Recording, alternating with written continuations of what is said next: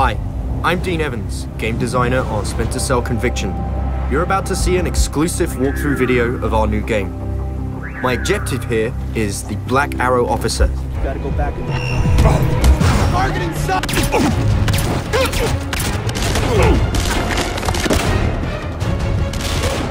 There you can see the last known position. This is where the enemy last saw me.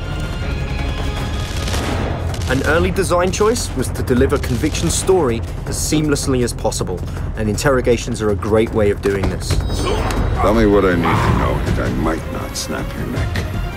Fuck you!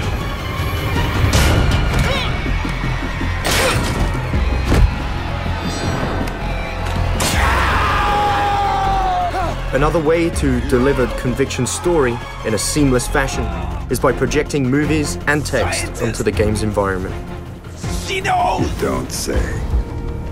While keeping what's always been cool in Splinter Cell, Conviction allows for a faster and more instinctive gameplay experience.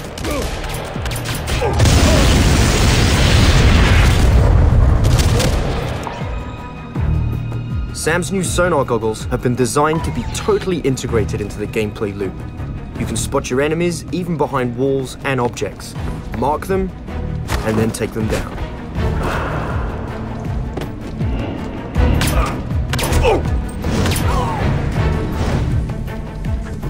Here's a good example of a stealth approach to a situation using the sticky cam.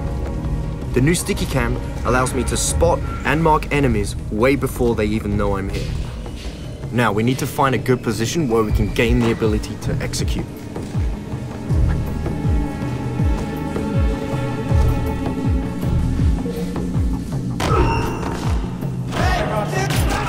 Now, one of the other things a sticky cam can be used for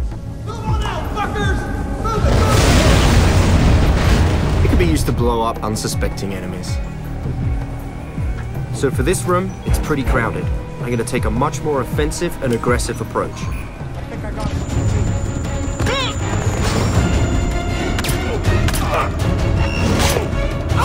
I hope you enjoyed this new sneak peek of our redefined Splinter Cell experience. New fast-paced gameplay, cutting-edge immersion, and a Sam Fisher like you've never seen before.